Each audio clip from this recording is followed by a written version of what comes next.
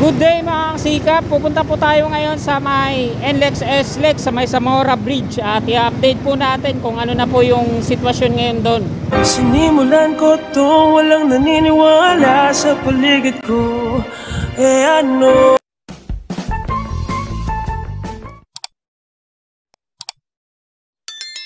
So, akit na po tayo dito sa may Paco Santa Mesa Road.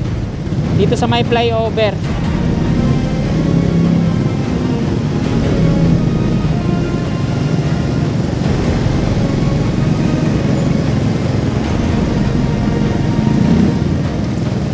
Ito mga kasikap, pag na-open na dyan sa baba, sa kaliwa natin, magiging one way na lang to.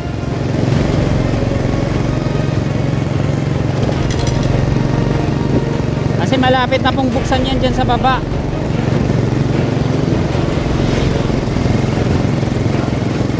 So ayan, silipin ko muna natin yung double decker. Kadalasan kasi doon tayo sa baba nag-update.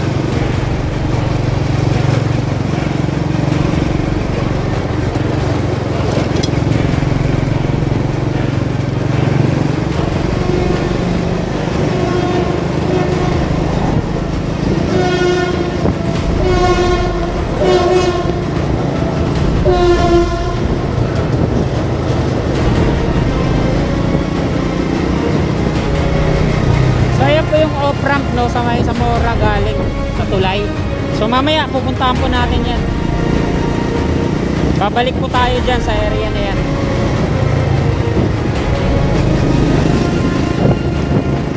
Ayan. Ayan tayo dadaan mamaya. Babalik.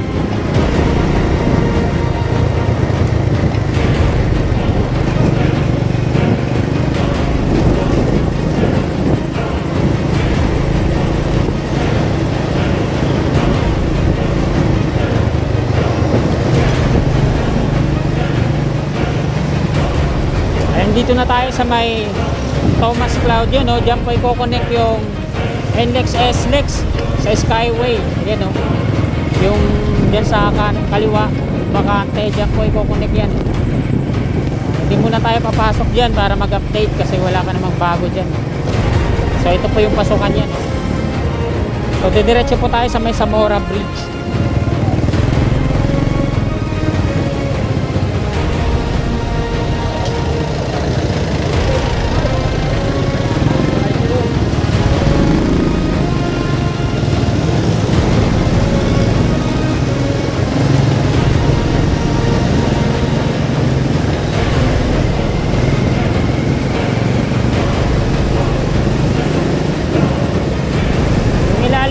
Off-ramp dyan, no? Ay, entry ramp pala yan. Inakuran din, no?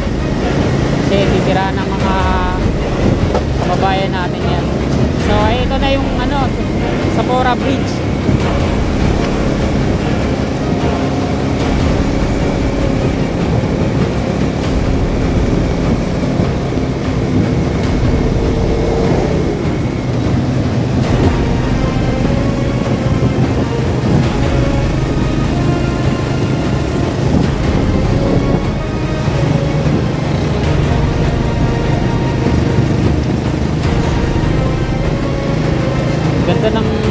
Ilog Pasig, eh. green na green.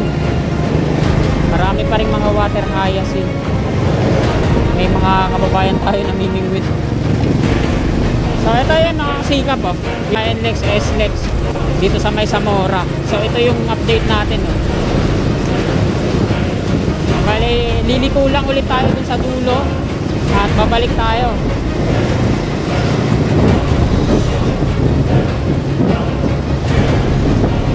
So dire-diretso na po yan doon hanggang sa may. Santa Mesa tapos sa doon sa may G. Tuason.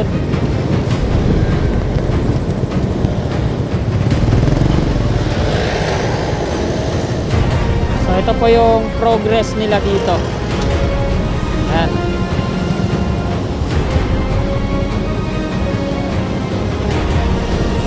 So dire-diretso po yan papunta doon. Hindi sa may bahay, sa may ano na yan, kuryente.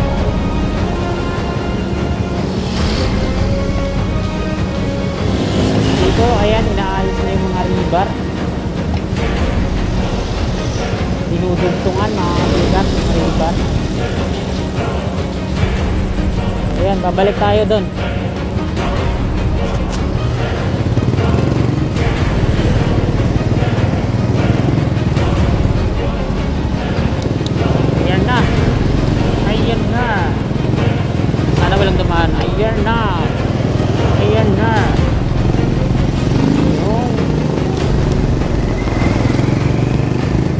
So, ayan mga kasika. Pag natapos na to, to, dire-diretso na yan doon sa may Skyway.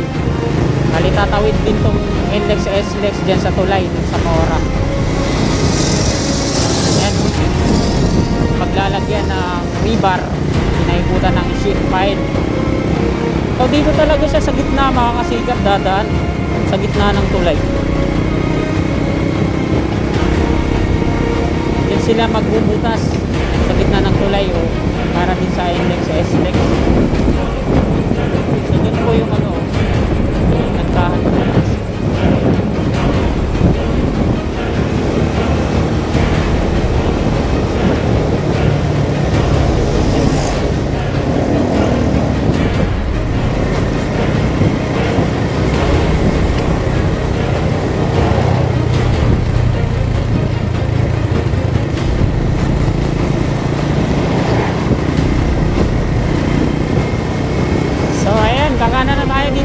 kasikap. Dire-diretso po yan doon sa may off-ramp. Doon sa may na-update natin lagi. So first time ko na makadaan dito.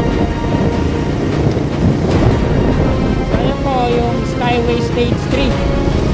Ah, ang ganda pala dito. Nakita oh. So yung yan mga kasikap. Diyan pa i-connect. Yan po i-connect yung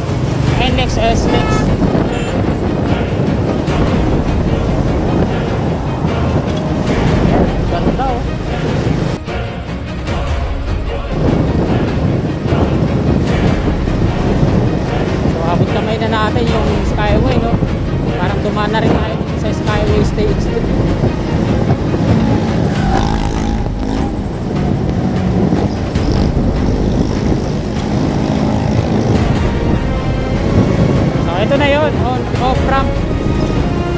Pala kay Sir Mike. Sir Mike, ito na po yung off ramp noon dito sa ano Ako Santa Mesa Road galing sa Mora Beach. So, ayan, babalik lang ulit ako dito. Sa kanan ako. Sa itong direction na to, mga kasigap, pag nabuksan na dyan sa unahan, sa may lagi nating ina-update, ay dire-diretso na po yan. So, dadaan ako ng Lauras. Wow, ganda oh.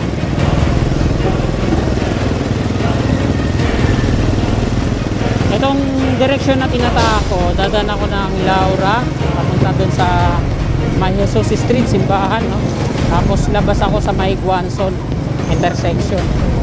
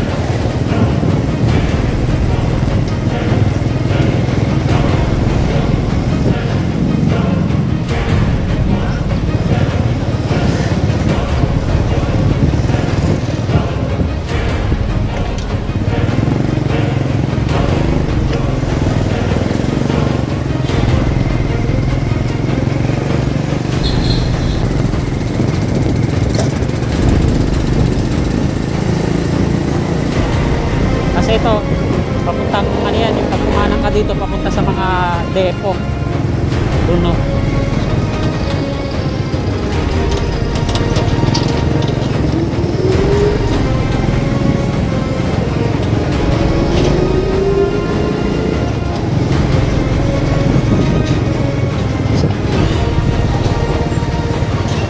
po yung barangay. Yan. Tapos ito po yung simbahan na nasunog dito sa Pandakan. Pinaka matandang simbahan. Pinaka matandang simbahan dito sa Pandakan na nasunog. Na ngayon nire nire-rehab, nire-rehab, inaayos.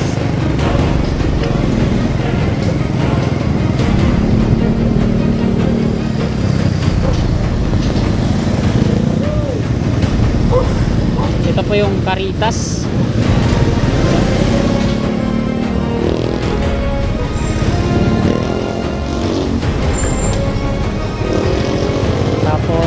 Tapos Residencias de Manila.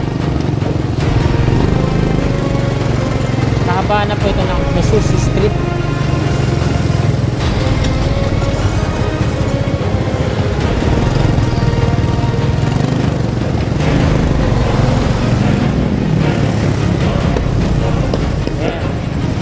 Yung papuntang kaliwa mga kasigap, Perino, Perino Avenue. Tapos kanan Mabini Bridge. Tapos pag dumiretso po kayo doon, yan, Guanzon Avenue, ang UN Avenue. Tapos ito naman yung papuntang nagdahan.